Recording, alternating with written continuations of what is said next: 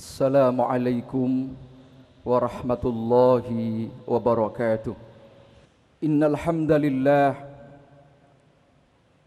نحمده ونستعينه ونستغفره ونتوب إليه ونعوذ بالله من شرور أنفسنا ومن سيئات أعمالنا من يهده الله فلا مضل له ومن يضلل فلا هادي له أشهد أن لا إله إلا الله وحده لا شريك له وأشهد أن سيدنا ونبينا محمدا عبده ورسوله لا نبي بعده اللهم صل وسلم وبارك على سيدنا محمد وعلى آله وأصحابه وسلم تسليما كثيرا فيا عباد الله أوصيكم وإياي بتقوى الله وطاعته لعلكم تفلحون. وقال تعالى في كتابه الكريم يا أيها الذين آمنوا اتقوا الله حق تقاته ولا تموتن إلا وأنتم مسلمون.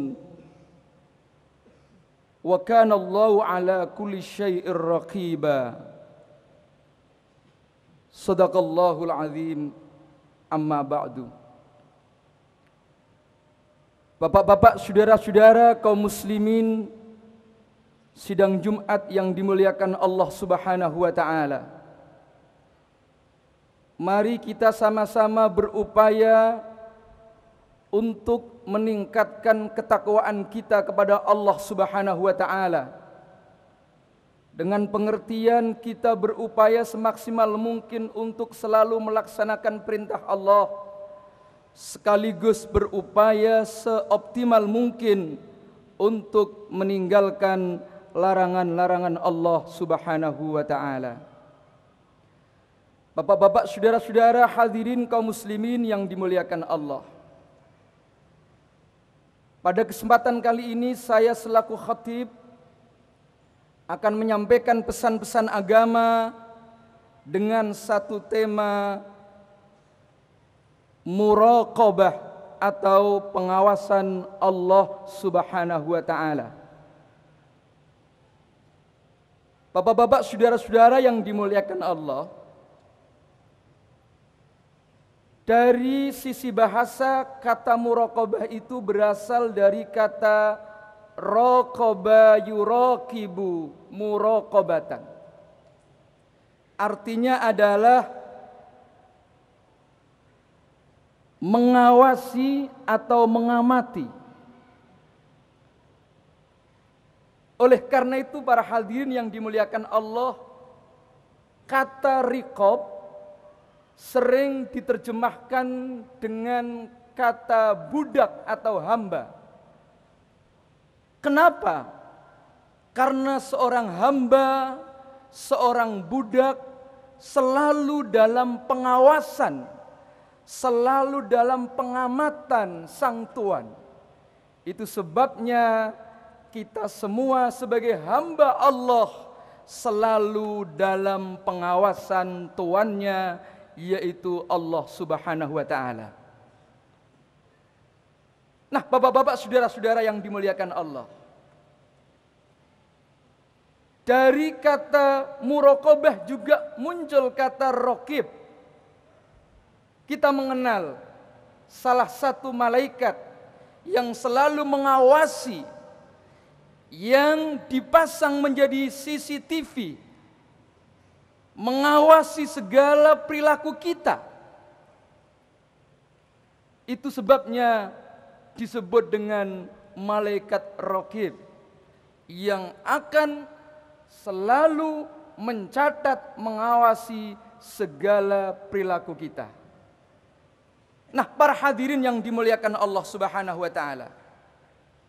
Seorang ulama sufi Abdullah Al-Murta'ish beliau mengartikan al-muraqabatu hiya mura'atus sirri limulahadatil haqqi subhanahu wa ta'ala yang disebut muraqabah adalah ada upaya penjagaan pemeliharaan hati kita ini. Sir yang tidak nampak, yang sifatnya batin karena ada pengawasan dari sang hak yaitu Allah Subhanahu wa taala. Nah, para hadirin yang dimuliakan Allah. Ada sebuah cerita bagian daripada bentuk murokobah kita. Yaitu adalah seorang putra khalifah anaknya Umar ibnul Khattab. Suatu saat para hadirin yang dimuliakan Allah Subhanahu wa taala Ibnu Umar melakukan perjalanan.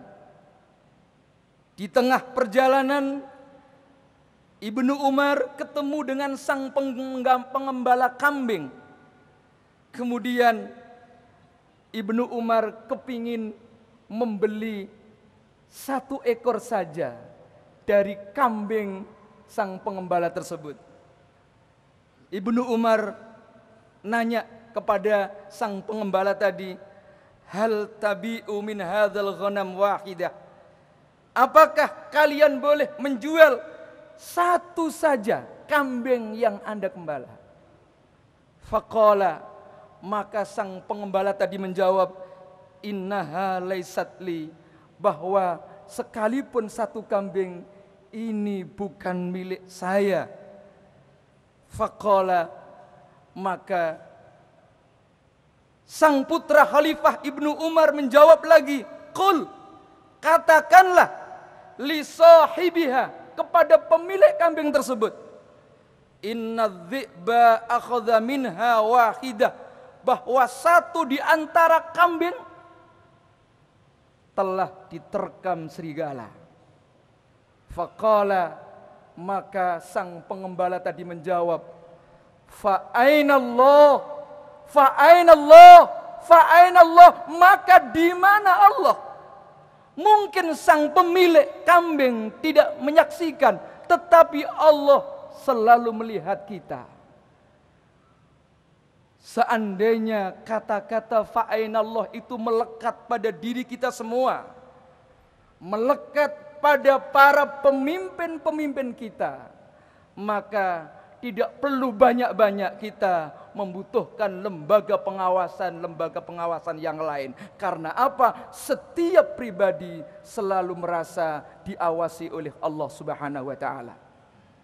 Nah, para hadirin yang dimuliakan Allah Subhanahu wa taala, bagaimana bentuk daripada muraqabah tersebut? Di dalam salah satu kitab Sufi, Risalah Kusyairiyah, Imam Kusyairi memberikan gambaran bahwa murokobah itu adalah praktek daripada perbuatan ihsan. Apa itu ihsan?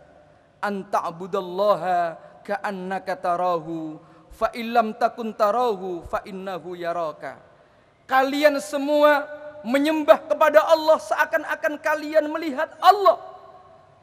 Karena kita melihat Allah, sudah barang tentu kita akan beribadah, kita akan bekerja, beramal semaksimal mungkin. Fa illam takun tarahu, seandainya kalian tidak melihat Allah, Anda harus yakin fa innahu yaraka, sesungguhnya Allah selalu melihat kalian.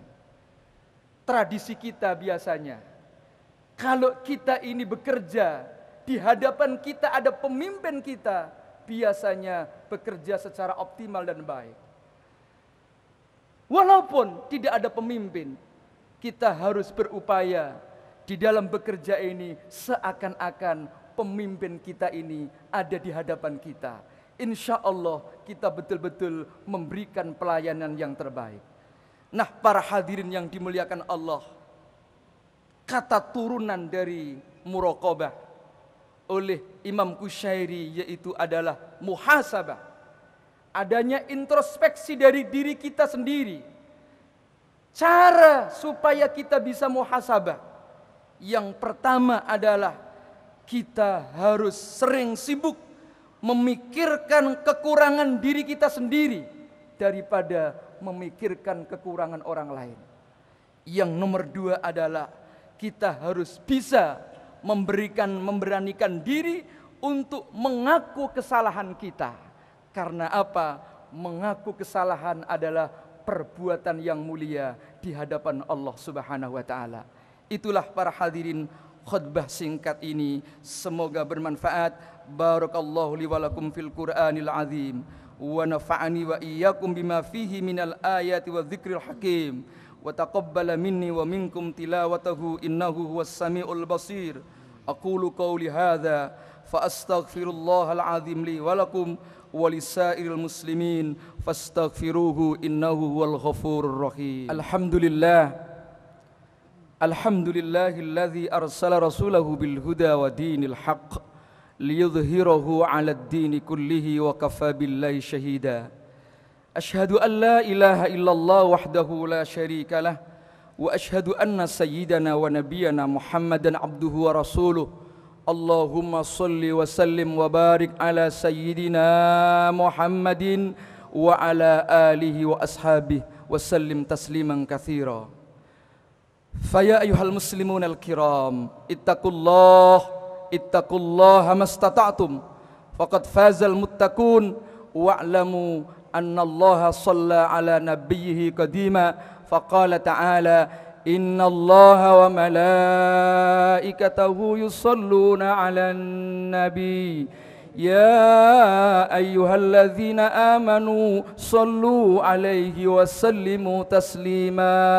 اللهم صل على سيدنا محمد سيد الأولين والآخرين وعلى آله وأصحابه وعلى أربعة الخلفاء الراشدين ساداتنا أبي بكر وأمر وعثمان وعلي رضي الله عنهم وعلى التابعين والتابع التابعين ومن تبعهم بإحسان إلى يوم الدين وارضى معهم برحمتك يا أرحم أرحم الراحمين. اللهم اغفر للمسلمين والمسلمات والمؤمنين والمؤمنات الأحياء منهم والأموات. اللهم اجعل جمعنا هذا جمعا مرحوما وتفرقنا من بعده تفرقا معصوما. اللهم لا تدع لنا في مجلسنا هذا ذنبا إلا غفرته ولا عيبا إلا سترته ولا هما إلا فرجته ولا مريضا إلا شفيته. قضيت ولا حاجة من حوائج الدنيا والآخرة إلا قضيتها. يا أرحم الراحمين ربنا آتنا في الدنيا حسنة